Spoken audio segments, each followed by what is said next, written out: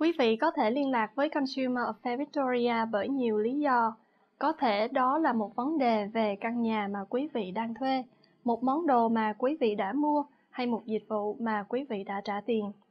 Trước hết, quý vị nên giải quyết vấn đề này với chủ nhà, doanh thương hoặc cửa tiệm. Nhưng nếu không thể giải quyết được thì quý vị có thể gọi cho chúng tôi để được hướng dẫn và nhận thông tin miễn phí. Hoặc quý vị có thể nhờ một người bạn hoặc một người khác gọi dùm cho quý vị. Nếu muốn được giúp đỡ bằng tiếng Việt thì gọi số 131 450 và nói Vietnamese, Vietnamese và sau đó yêu cầu thông dịch viên liên lạc với chúng tôi thông qua số 1300 558181. Quý vị có thể liên lạc với Consumer Affairs Victoria vào các ngày từ thứ hai đến thứ sáu, từ 9 giờ sáng đến 5 giờ chiều, ngoại trừ những ngày nghỉ lễ. Chúng tôi mong được giúp đỡ quý vị.